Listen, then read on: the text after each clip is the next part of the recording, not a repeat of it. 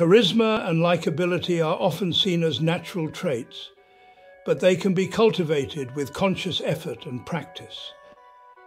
To be more likable and charismatic, start by focusing on genuine interest in others. People are drawn to those who make them feel valued and heard. Practice active listening by maintaining eye contact, nodding, and providing affirmations that show you are engaged in the conversation. Avoid interrupting and allow the other person to express their thoughts fully before responding. Another key aspect is to display positive body language. Smile often, use open gestures and maintain a relaxed posture. These non-verbal cues convey warmth and approachability. Be mindful of your tone of voice as well.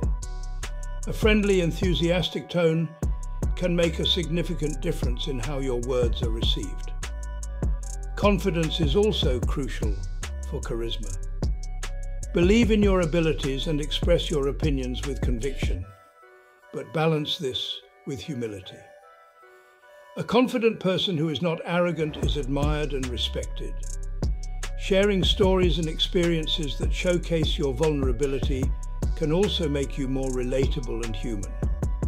Additionally, practice empathy by putting yourself in others' shoes and understanding their feelings and perspectives.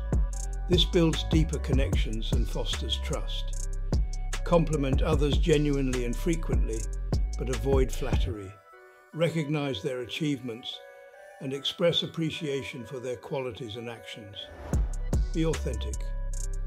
Charisma is not about pretending to be someone you're not. It's about being the best version of yourself. People can sense authenticity and are naturally drawn to it. By developing these habits, you can enhance your likability and charisma, making interactions more enjoyable and meaningful for everyone involved.